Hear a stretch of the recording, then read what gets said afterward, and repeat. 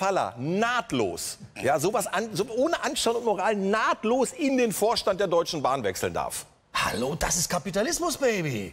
So läuft das nun mal. Und die geilsten Typen sind immer die, die sich einen Dreck scheren um das, was sie früher mal gesagt haben. Hier, Pofalla 2005, beim Wechsel von Gerd Schröder zu Gazprom.